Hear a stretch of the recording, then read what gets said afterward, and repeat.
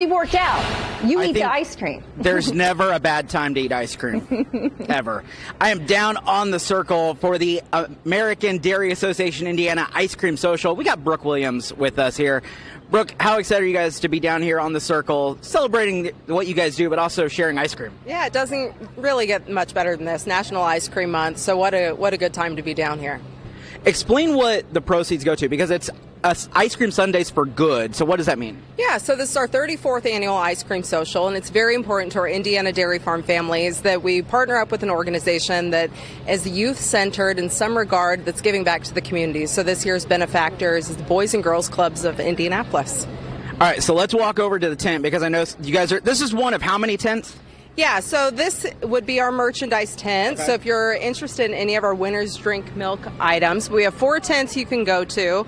Um, there's a red tent, yellow tent, blue tent, green tent, but every tent has the same. For $5, you get a big scoop of uh, Prairie Farms vanilla ice cream and all the toppings that you would want.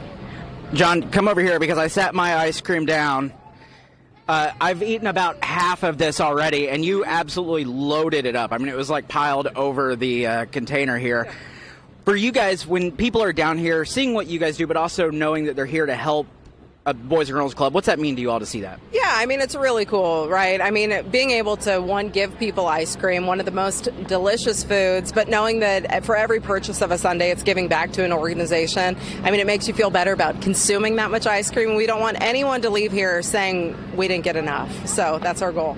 All right, John, flip around there because right over in the corner, there's a, a trailer behind a truck. What's going to be coming out of those? We have two calves that are coming to join us. So our friends at the Purdue Dairy Club are bringing two calves, and not every day you see a cow on Monument Circle, but you can actually come and pet the cow um, and learn a little bit more about what dairy farming is like in the state of Indiana.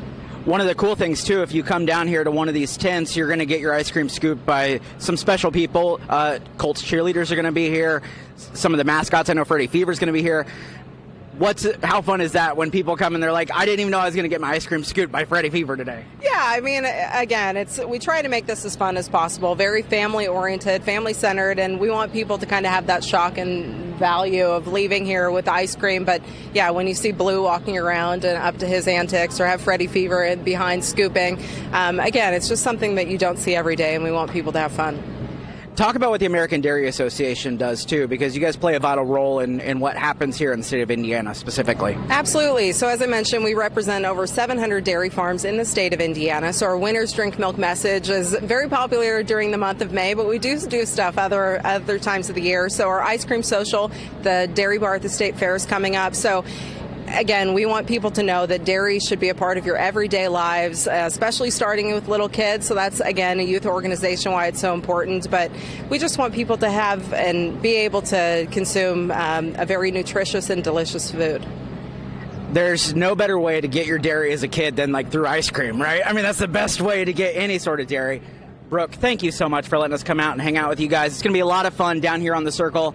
Come down, get an ice cream sundae for five bucks, and it's all for a good cause too. So now you have an excuse to eat ice cream if you needed one, Randy. Uh, yeah, like we needed one. Yeah. But I, I like that. Yeah, we need one or two or three. or three. Bring some back, Cody. Bring some back. You're only five minutes away.